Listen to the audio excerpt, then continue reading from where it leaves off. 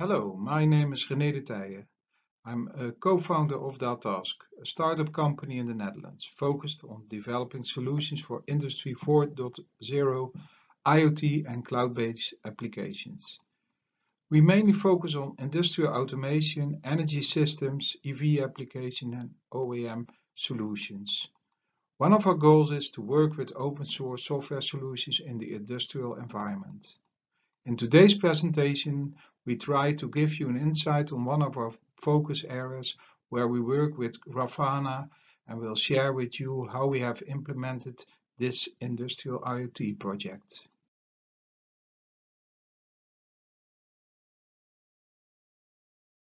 We met Innovotech, a machine builder that focuses on creating automated machines for fisheries.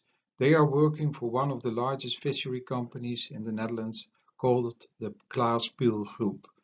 Near to Amsterdam, the company is processing herring in one of their facilities. In the past, filleting was a labor-intensive production process. Innovotech created a fully automated filleting machine based on machine vision systems, including a system that packages the herrings that will be shipped to the supermarkets. The important goals of Innovotech is to create a fully automated production line, but one of their big challenges was to prove that their machine performed accordingly. This is why information from the machine is becoming more and more important. That's why we started the discussion on Industry 4.0. Maybe it's good to see the different generations went to time. It started all in the 1870s by mechanization based on steam power. The second generation focused on mass production and initiated the production line. From the 1970s, we started to initiate an automated and computerized system to automate the production process. Now we achieved our last step, get the machine available in the connected world. The machines will be shipped all over the globe and information becomes more and more important. What does Industry 4.0 mean for a fishery company? They need to track everything, have inside vision on all the processing stages. What Innovotech did was to automate the production line using advanced vision systems and now they add the Industry 4.0 component to this. See your production line as an integrated environment. Use technologies like industrial IoT and analyze the data to improve your production line. One of the important goals was to calculate the production price per herring instead of production price per kilogram. In a manual labor environment, this was a very time-consuming exercise and therefore not frequently done. With this new system, they are able to do this without human interference. In Industry 4.0, for us it was clear when shipping machines all over the globe, how are you going to maintain these machines? Probably when the machine is broken, you will service the machine. But with inside information, you can help production managers and service personnel. It will reduce expensive travel costs and time. And even in this COVID-19 era, there is an urgent need on monitoring production lines from abroad. New business models are created also on pay-per-use. This means that machine builders become more aware that the service department may be to transfer from a cost center into a profit center by getting more closer to the customer than before. How did we do this? The goal of Innovotech was clear, make everything cloud first, not as an on-premise system. The machines were already operational for a couple of months. We started with an industrial router and connected this device to the automation systems. The available software stack on this router makes it possible to retrieve real-time data from the automation system and send them via MQTT to the cloud. For this we are using the Amazon Web Services with the AWS IoT stack. Together with the Node-RED IoT platform and InfluxDB and Grafana, we create a secure environment that makes it possible to access Grafana from every place. We are using industrial routers from INSYS ICOM. In my hands I have an industrial multifunctional router. We have the following standard routers features on board. It has one LAN connection, one WAN connection, a Wi-Fi access point, a 4G modem, an RS-232 and RS-485, including some digital inputs and outputs. This is enough to create an IoT connection. With the VPN services, I can access this router and change all the configurations. But it has more capability because it's using a Linux container solution, which we can add as a software stack. We use the ICOM data suite to use it as a protocol converter to come from Modbus, which is an industrial protocol, to MQTT, which is more an IT-based protocol. We close here for the gap between the automation uh, environment and the IT environment. Installed Grafana, Influx and Node-RED in the Amazon cloud. We use this unique combination to retrieve data from all the connected machines in the AWS IoT. In Node-RED, we use all sorts of advanced calculation to measure all sorts of KPIs. Grafana is used as the end-user front-end. Several stakeholders are using this system. The machine builder is, uh, uses it as a tool to improve the machine, production managers to register actual performance, and production personnel to see their own performance. The whole combination runs in AWS uh, as a system that will be used from several places all over the world. Here we come to uh, this is uh, an overview of uh, the production line. Uh, it is a dashboard that is being used by several people in the factory. Uh, it consists of two production lines on the left side of production line on the right side one. Uh, what you actually see is the number of herring being packaged over here.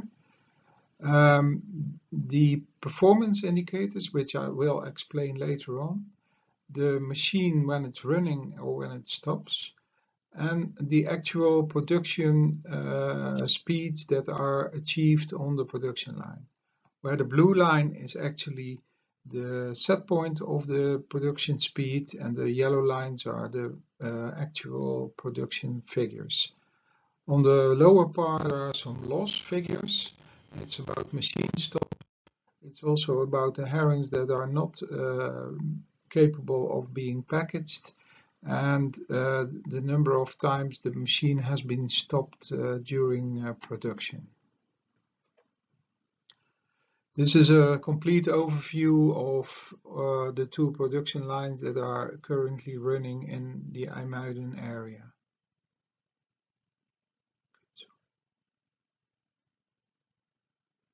Let's go to another dashboard.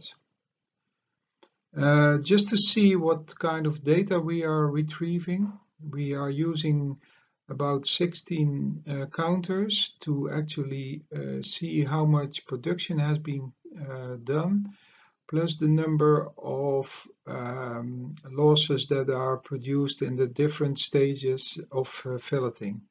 Um, what you can see about these data points is that we use a limited number of data points to actually visualize everything on this uh, system. The advanced calculations in Node-RED will help you to create uh, KPI uh, figures from this uh, dashboard. Let's go to the next one. That is a OEE um, dashboard. What we are uh, doing is calculating the overall equipment efficiency from uh, these machines. Uh, this makes it possible for production managers to actually see how this line is operating this is about availability. Availability says something about uh, how much production has been done during the day. It's about uh, the uh, performance, how fast will a be filleted and put in into a, a box for the for the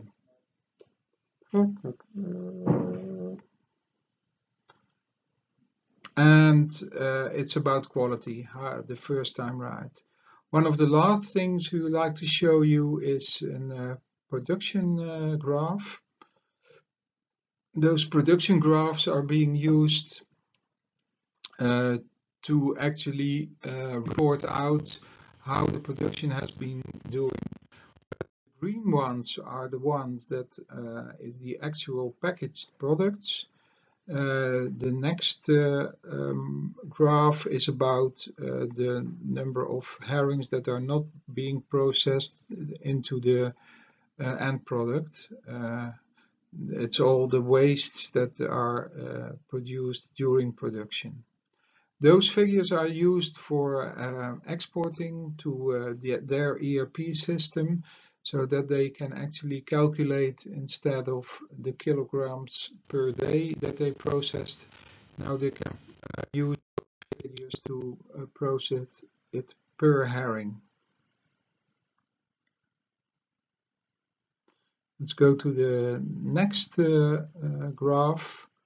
Um, this is uh, being used by a uh, production leader because this production leader can now uh, produce um, reports on actual figures per uh, day where they can see how time the production line has been running, how much uh, herrings they packaged, including all their uh, losses in their production line.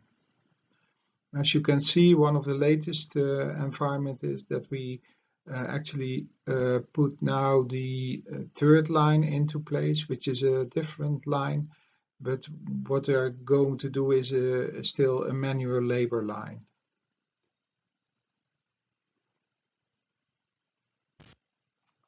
That was it for today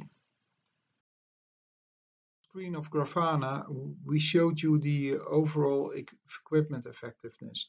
This is a uh, commonly used uh, uh, performance indicator in the uh, industry, uh, which says something about availability, performance and quality.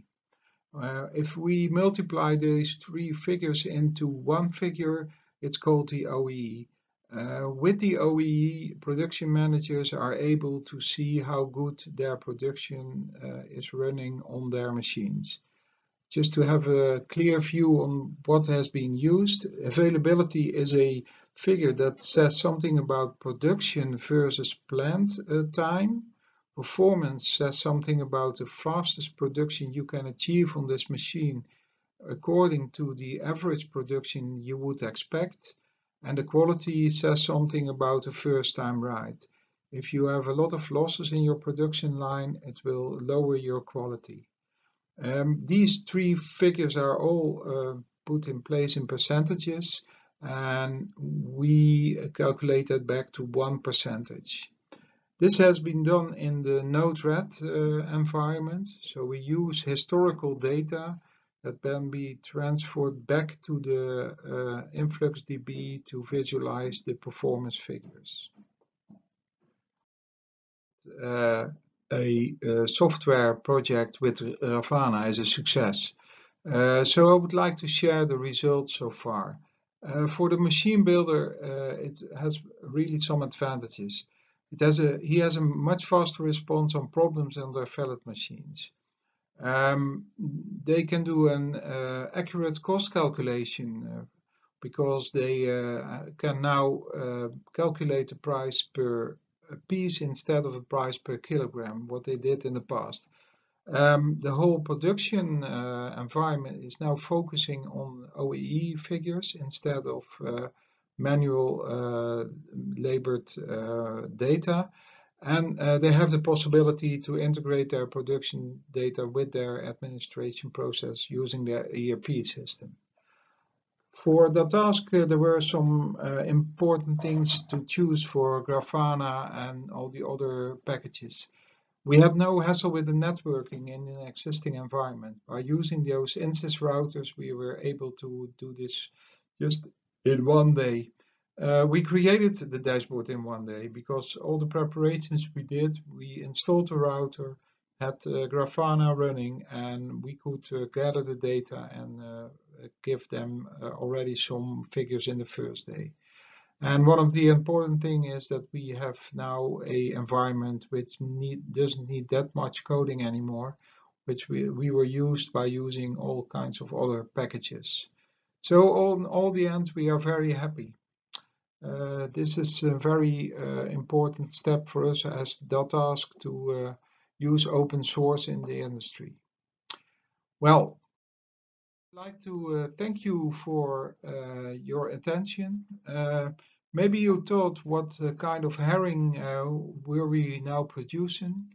Um, it's a typical Dutch habit to uh, eat raw herring. Uh, so if you are in the Netherlands and would like to eat uh, a herring with us, just give me a call or uh, send me an email. I can make some demonstrations for you and we eat an herring uh, together with us in the western part of